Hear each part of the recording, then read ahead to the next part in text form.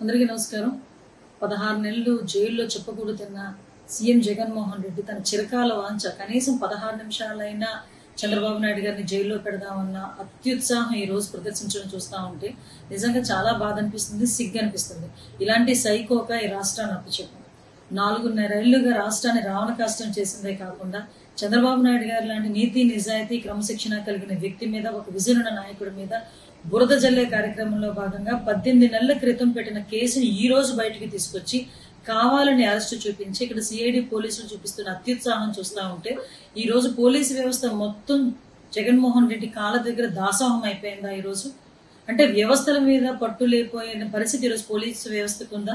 చంద్రబాబు నాయుడు గారిని అర్ధరాత్రులు అరెస్ట్ చేయడానికి ఆయన ఏమైనా నక్సలేటా అండి? మిలిటెంటా? లేకపోతే వాళ్ళ బాబాయ్ ఏమైనా హత్య చేసిన హంతకుడా లేకపోతే ఆర్థిక ఉగ్రవాద? లేకపోతే ఇతనిలాగా పొల్లు సూట్ కేస్ కంపెనీలు పెట్టి డబ్బులు దొబ్బేసినాడు అనుకుంటున్నాను అంటే ఇలాంటి అది ఏమీ లేకుండా ఈరోజు చంద్రబాబు నాయుడు గారు లాంటి విజనున్న నాయకుడిని ఆయన యాత్రలు చేస్తా ఉంటే ఈరోజు భవిష్యత్తు గ్యారంటీ పథకంలో భాగంగా ఈరోజు పర్యటనలు చేస్తూ ప్రజలకు ఒక భరోసా ఇస్తూ ఉంటే అది చూడలేక వారవలేక అర్ధరాత్రుల పూట వెళ్ళి అతన్ని బస్ దగ్గరికి వెళ్ళి మొహరించి అరెస్ట్ చేయాల్సిన అవసరం వచ్చింది ఈరోజు ఎంత దారుణమైన స్థితిలో ఉన్నదండి.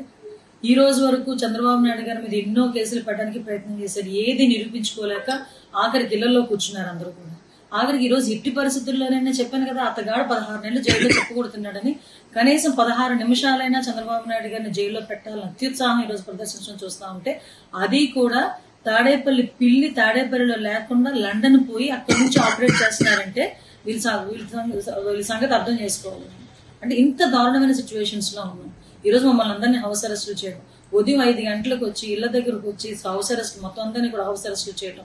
రాష్ట్ర వ్యాప్తంగా ఉన్న తెలుగుదేశం పార్టీలో ఉన్న పెద్ద నాయకత్వం దగ్గర నుంచి కింద స్థాయి నాయకత్వం వరకు కూడా మీరందరూ అరెస్టులు చూపించి ఈరోజు మీరు ఏమి మెసేజ్ ఇద్దాం అనుకుంటున్నారు అంటే ఒకటి ఏంటంటే పోలీస్ వ్యవస్థ దగ్గర నుంచి జగన్మోహన్ రెడ్డి వరకు తెలుగుదేశం పార్టీ కార్యకర్తకి తెలుగుదేశం పార్టీ జెండాకి తెలుగుదేశం పార్టీ రంగుకి కూడా భయపడిన పరిస్థితి ఈరోజు కనిపిస్తా ఉంది.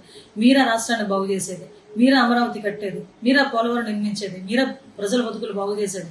కనీసం చంద్రబాబు నాయుడు గారి మీద లేని ఆరోపణలు చేసి అరెస్ట్ చేసే పరిస్థితి మీకు వచ్చిందంటే మీ మీ కౌంటర్ స్టార్ట్ అయిపోయింది.